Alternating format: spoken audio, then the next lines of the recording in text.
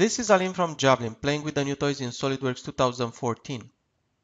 In this video I will demonstrate how the enhanced functionality for the tangent mate enables you, the user, to create realistic assemblies with natural moving components. In this very simple example I have uh, a bolt and a washer that are being mated with a slot in a plate.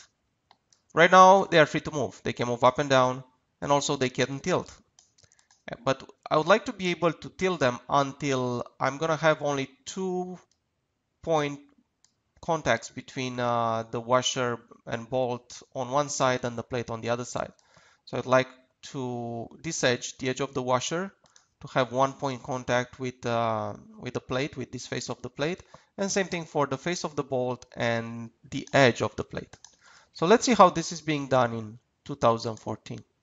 It's as simple as selecting a tangent mate between the edge and the face.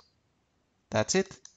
And as you can see now, if I'm dragging it up and down, it will always uh, get one point contact between the two of them.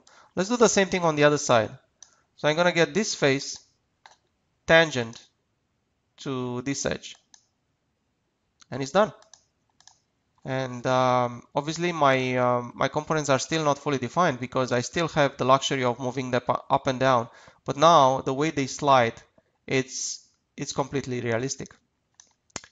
So one more reason why SolidWorks 2014 is a, it's a good idea to have. Thank you very much.